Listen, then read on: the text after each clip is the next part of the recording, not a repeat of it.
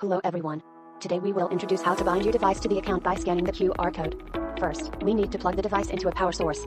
Please wait patiently for the device to start. It is expected to take about 30 seconds. Okay, now the device is booted up.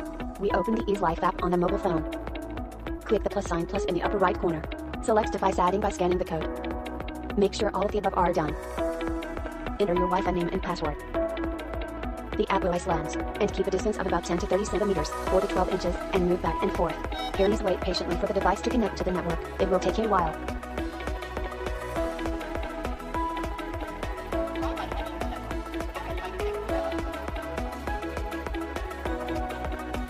Okay, your device binding is successful. Please enjoy it.